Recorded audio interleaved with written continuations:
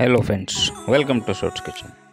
तो दोस्तों, आज हम बनाएँगे एग कोरमा यानी अंडे का कोरमा जैसे चिकन कोरमा होता है, उसी स्टाइल में बनाएँगे इसको भी।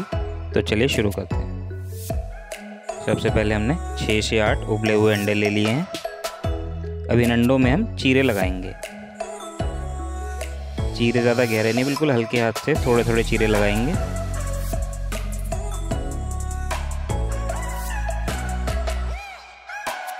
अब एक कढ़ाई में दो से तीन चम्मच हम तेल को गरम करेंगे मीडियम फ्लेम थोड़े से हम अंडों को फ्राई करेंगे इसमें, ताकि जो एक क्रिस्प लेयर आ जाए इनके ऊपर। अच्छी तरीके से इसको फ्राई करेंगे अंडों को, जब तक गोल्डन क्रस्ट इनके ऊपर फॉर्म ना हो जाए। देखिए क्रस्ट फॉर्म हो गई है अंडों के ऊपर। अब इनको निकाल के अलग रख देंगे। और हम अपने कोरमे की ग्रेवी की तैयारी करते हैं। एक कढ़ाई के अंदर 100 एम करीब तेल को आपको गर्म करना है, यानी 6 से 7 चम्मच तेल को गर्म करना है। इसके अंदर प्याज की प्यूरी डाल देनी है या प्याज का पेस्ट, जो अभी आप कहें। तीन प्याज का हमने यहाँ पे पेस्ट बनाया है, वो डालना है।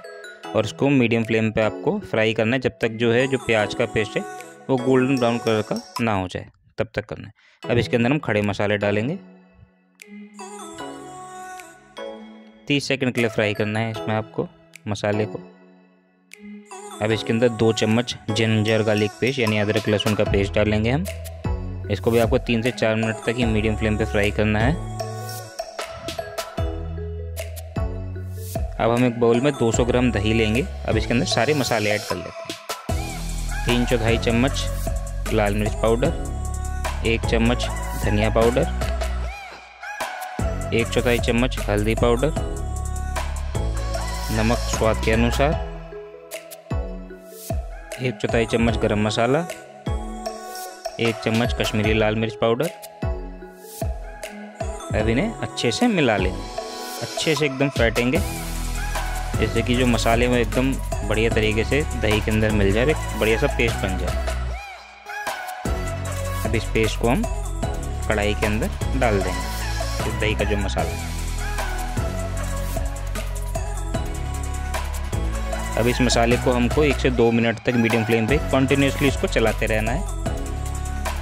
देखिए मसाले एकदम बढ़िया हो गया। अब इसमें आधा गिलास पानी डालेंगे। ये जो दही का जो बाउल था, जो मसाले वाला, मैंने उसी में पानी डाल के, उसी को मिक्स करके वही पानी इसको डाल दिया है कढ़ाई में।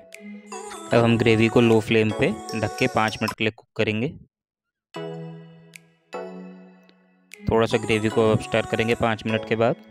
अब इसके अंदर हम जो हमारे एग्स थे, उनको डाल देंगे। हल्के हाथ से इसको मिक्स करेंगे अंडों को ग्रेवी के साथ।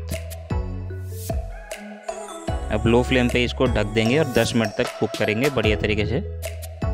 आपकी डिश एकदम तैयार है। थोड़ा सा इसे फिनिश करेंगे धनिए के साथ। चलिए अब इसकी प्लेटिंग कर लेते हैं।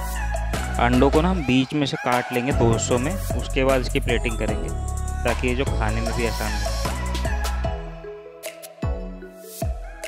दोस्तों, अगर वीडियो अच्छा लगा हो तो वीडियो को लाइक कर दीजिए शेयर कर दीजिए और सब्सक्राइब कर दीजिए चैनल को।